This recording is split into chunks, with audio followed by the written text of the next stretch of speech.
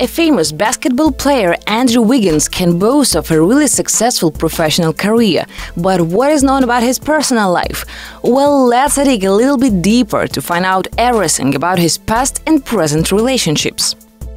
Mychal Johnson, 2013 present time. She is a former Notre Dame basketball player who became popular in 2013 when she started dating Wiggins. Despite the fact that these two lovebirds have been going strong for many years, there regularly appear rumors about the sportsman's cheating.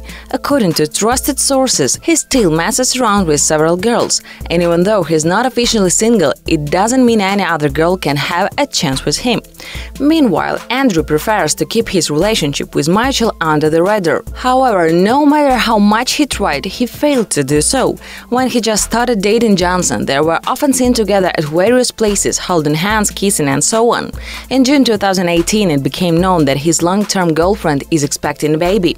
In October 2018, they welcomed their firstborn, a daughter, Amyah.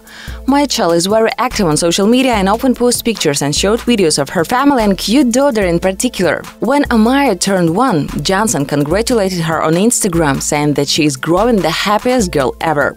While the celebrity's soulmate is open about their relationship and provides fans with a glimpse of their love story, Andrew does everything on the contrary. He never uploads family pictures on social media and never talks about his kids or girlfriend during interviews.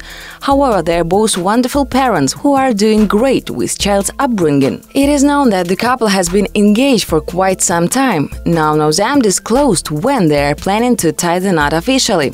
Perhaps they are too busy with working schedules or are just waiting to surprise everyone with good news.